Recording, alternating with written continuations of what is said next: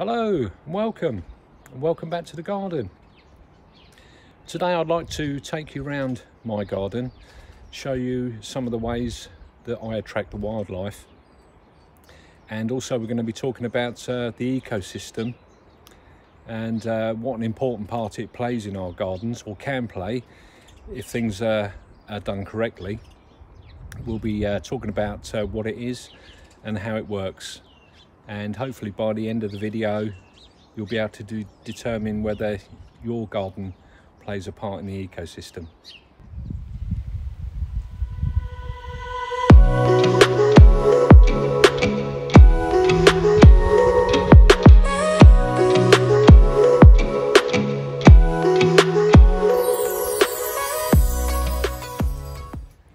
So I'll give you a brief overview of, uh, of the garden uh, I moved in here about three years ago and it was basically just a lawn area with a couple of cherry trees and a small apple tree in the middle there with some hedgerow at the bottom and this rather lovely established hedgerow on this side which I was really excited about. And on the other side was a fence which was completely destroyed in the storm. So there was a lot that we could do with that as well but there wasn't a lot of life here. There wasn't what I call a, a viable ecosystem happening. So um, I knew there was huge potential. So we're going to take you around and show you what we've done. So I was really uh, excited about uh, this hedge because hedgerows are amazing magnets for for wildlife. The amount of insects that they hold during the summer months for shelter and for pollinating and shelter for birds and for nesting and also for the mammals as well. Uh, hedgehogs use them. They tend to feel safer moving around along the hedgerows rather than being always out in the open. And we are really lucky enough to have hedgehogs here. And we've got a mixture in this hedge. We've got quite a lot of brambles. So we've got the blossom from that in the summer and the blackberries in the autumn. We've got privet which is in in blossom in the summer. And we've got some dogwood mixed in there which is a beautiful blossom. And we've got more brambles more blackberries some field maple. And I've incorporated this year uh, a wild honeysuckle which is uh, a great attraction to the moths. Some more brambles mixed in. And then we've got some ivy which is uh, a fantastic source for wildlife.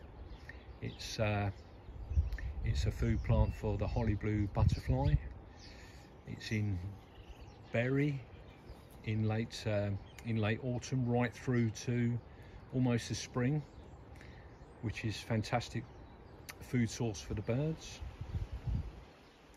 We've got a fuchsia plant which is a food plant for the elephant hawk moth. We've got a fantastic dogwood here which is awesome when it's in blossom so there's quite a good mixture there.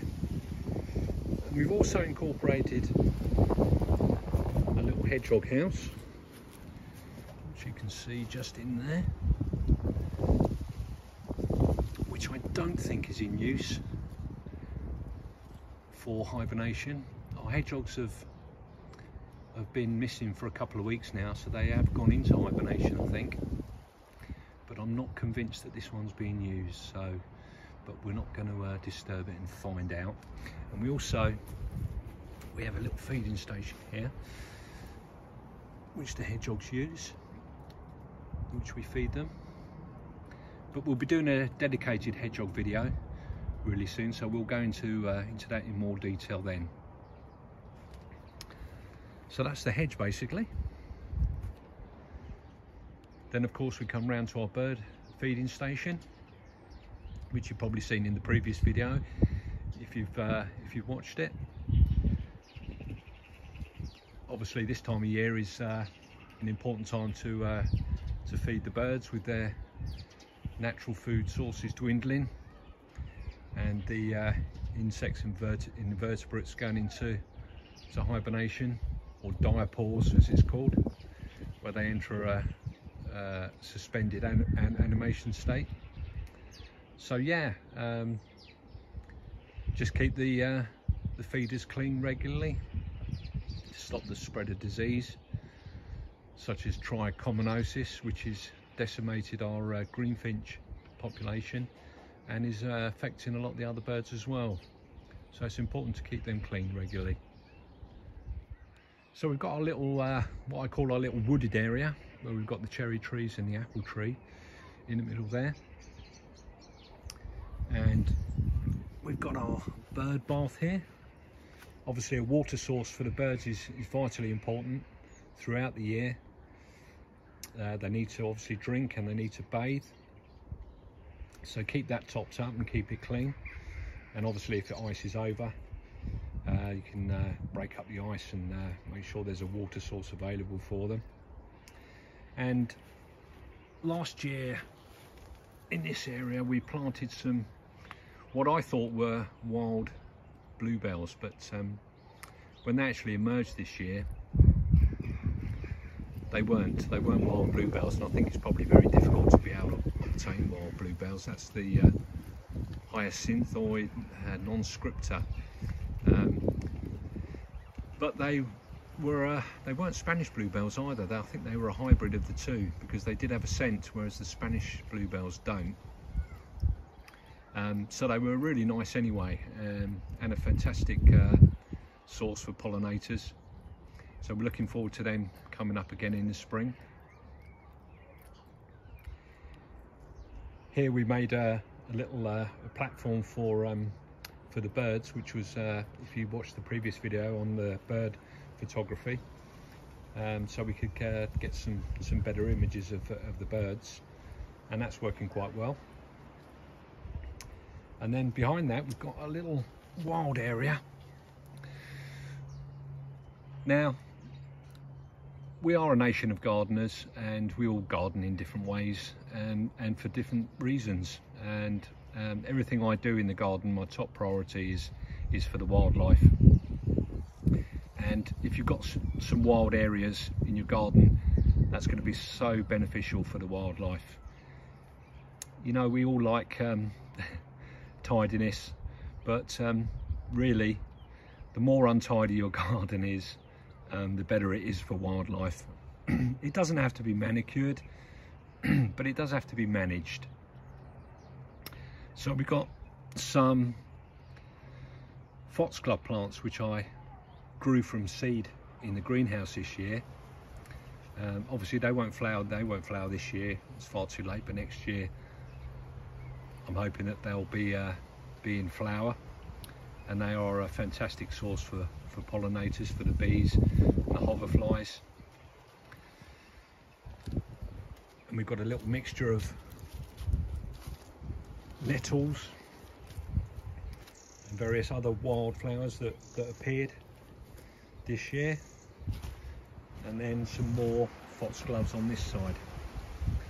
So we're looking forward to see how they turn out next year.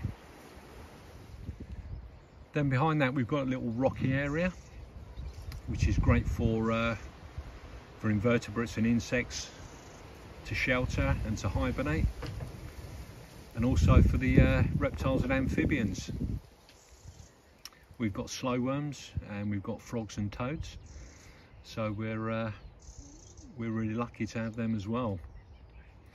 And then we've come across to this part which is we put in some teasel in the back there, which like the foxgloves won't do anything now, but next year hopefully that will will be in flower. Obviously it's a great source of, of food for the birds, namely goldfinches.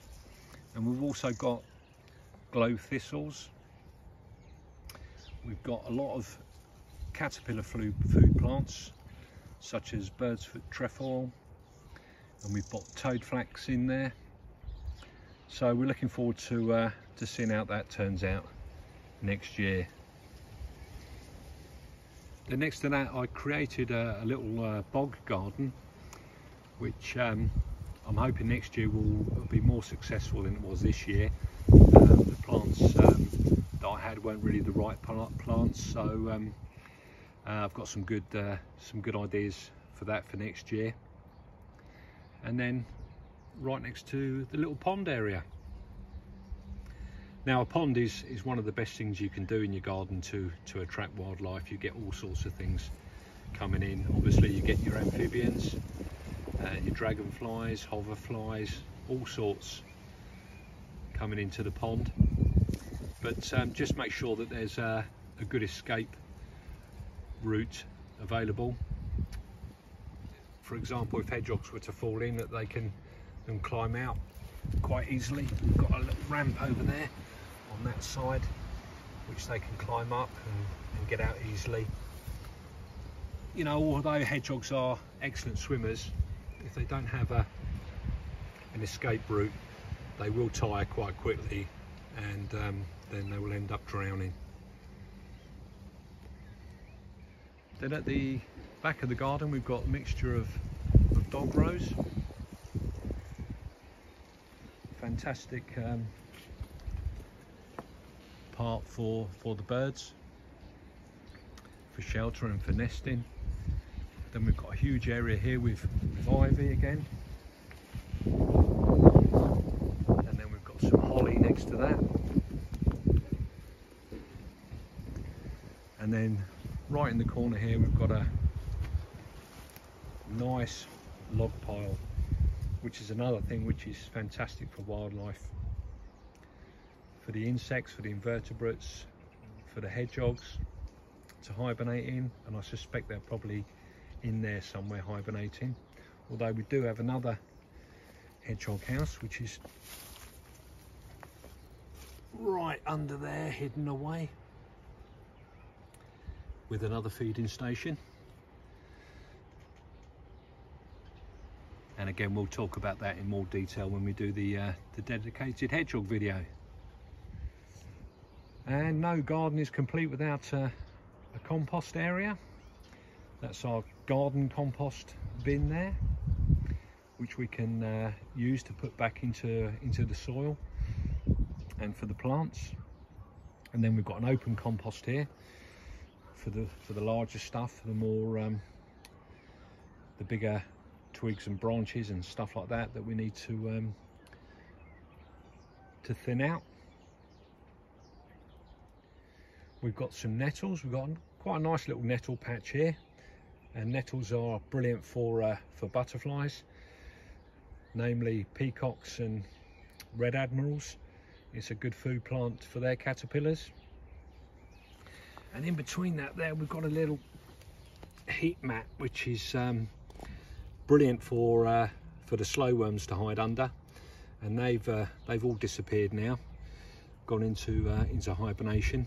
But you can use anything like that piece of corrugated iron or or anything and they'll uh, be surprised how quickly they uh, they take up residence. And we've got uh, quite a few windfalls this year so we're um, we're leaving the apples down for the birds blackbirds and thrushes. They love them. And then we've got I built this little uh, reflection pool which I, I was going to be using for uh, taking photographs of the birds when they come down. Um, I haven't been really su very successful with it yet um, because I just keep missing them. but um, it's brilliant. It's great for attracting uh, dragonflies and, and hoverflies and the birds come down and, and bathe in it and we just got a little solar pump in the middle there which um, which keeps it uh, keeps it clean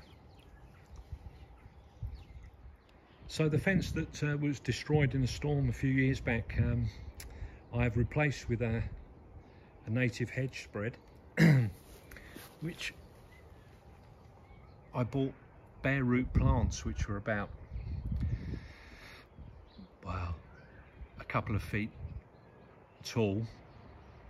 And we've got a mixture in here. We've got um, bird cherry, we've got hawthorn, we've got dog rose, we've rose, and we've mixed it up a bit. There's some bramble in there as well.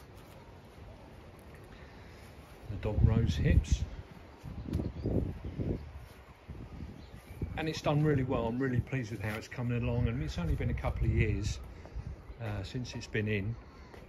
But um, it can take between three and seven years for it to reach its uh, full maturity.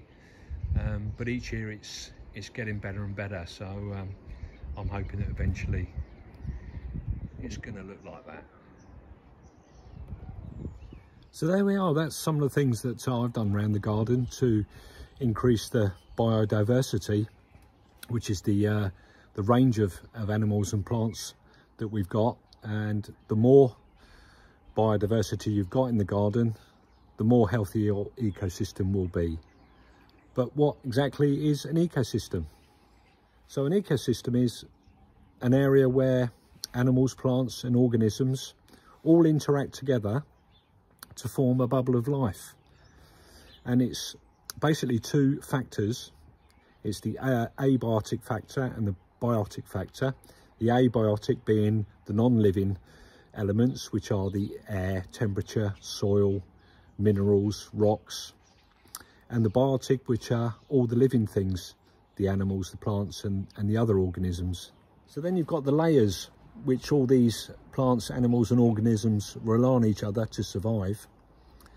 And at the start you've got the primary producers which are the plants. They uh, produce their own food through photosynthesis in the form of glucose and sugar. And then you've got the primary consumers, which are the herbivores, which feed on the plants, which in our case would be caterpillars, grasshoppers, insects, slugs and snails. And then you've got the secondary consumers, which can be carnivores or omnivores, which feed on them, which could be birds, the reptiles and amphibians, here for example slowworms, and spiders and hedgehogs. And then at the top, you've got the tertiary consumers, which are primarily carnivores, and in our case would be the sparrowhawk and the tawny owl. And then you come to the decomposers, and they will then decompose any of the, the dead animal life or organisms through uh, fungi, bacteria, and the worms, and they return the uh, valuable nutrients back into the soil for the plants to feed on, and so the cycle starts again. But we mustn't also forget the uh, energy cycle. So you've got the uh, energy from the sun. The plants are producing oxygen, which is released into the atmosphere, which we all breathe, and the animals. They exhale the carbon, which is then absorbed, absorbed by the plants again. And so the cycle begins again. So it is all about creating a balance between all those organisms, the animals, and if you were to have an overpopulation of, of one or the other that's when the ecosystem can topple or potentially collapse altogether.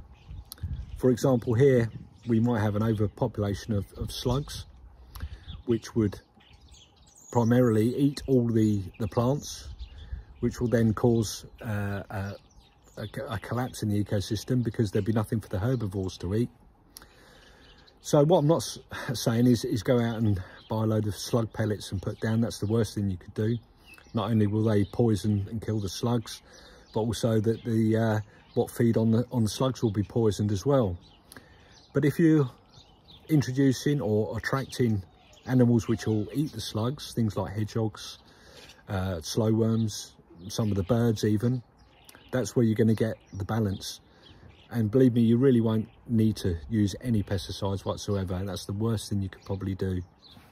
Now the main reason for ecosystem collapses are natural disasters and human interference. And one of the prime examples of that would be the wolves in Yellowstone National Park. They were eradicated completely um, for about 70 years. And during that time the elk population exploded um, and they ate all the plant life there. They damaged a lot of the forests. And so a lot of the animals just moved out, they just disappeared because they either had nothing to feed on or they had nowhere to, to breed, nowhere to nest. So all the birds moved away, the beavers disappeared, the rivers widened, but then they brought back the wolves. And they've been back about 25 years and the changes have been incredible. The, uh, the elk population obviously has subsided slightly, but the, el the elks also have moved away from areas where they know the wolves will be hunting. So the grasslands have been able to flourish, the plants have been able to grow back, the forests have recovered, the rivers have, have uh, narrowed again, uh, the birds have, have come back. It's an amazing success story, but it just, just shows you what can happen when something is taken out of an ecosystem.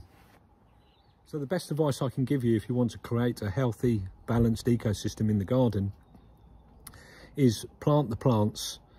They lay the foundation, basically. And um, use as many native plants to the UK as you can. Try and avoid uh, using uh, foreign plants that uh, our animals and organisms just aren't, aren't familiar with. If you've got space, plant trees and hedgerows. That's going to bring in a lot of the wildlife. And keep at it. It doesn't happen overnight. Um, it's taken me probably a couple of years to get it uh, just about right here. But it's an ongoing process. I mean, this is still work in progress here. Um, I'm always making uh, fine adjustments, adding new plants uh, when necessary. So it takes a while. It doesn't just happen overnight but the rewards are, are amazing. I mean, I've got species, I'm, I'm finding new species all the time. Um, some of those I'll put on at uh, the end of the video. And um, when you find them, it's, it's really rewarding and it shows you that uh, all that work that you've done is, is worthwhile. So there we are. I hope you enjoyed that and um, I wish you good luck if you're uh, if you're trying to attract the wildlife to the to the garden and create a healthy ecosystem. And um, if you've got any questions, leave them in the comments. I'll always get back to you. And uh, just on a personal note, uh, you may have noticed I haven't been out um, trekking very much recently. Um, reason being we've uh, we've just had a, a new baby and um, it didn't quite go to plan. Um, sadly, my wife and baby were, were quite poorly. They're okay now. Everything's it's fine. They're they're doing really well. Um, but it was a pretty uh, worrying and stressful time. Um, so uh, I hope to get out and about uh, trekking again uh, as soon as I can. Um, but if you'd like to uh, subscribe to the channel, please do so. And if you liked it, please give me a thumbs up. And I hope to see you all again soon. Thanks again.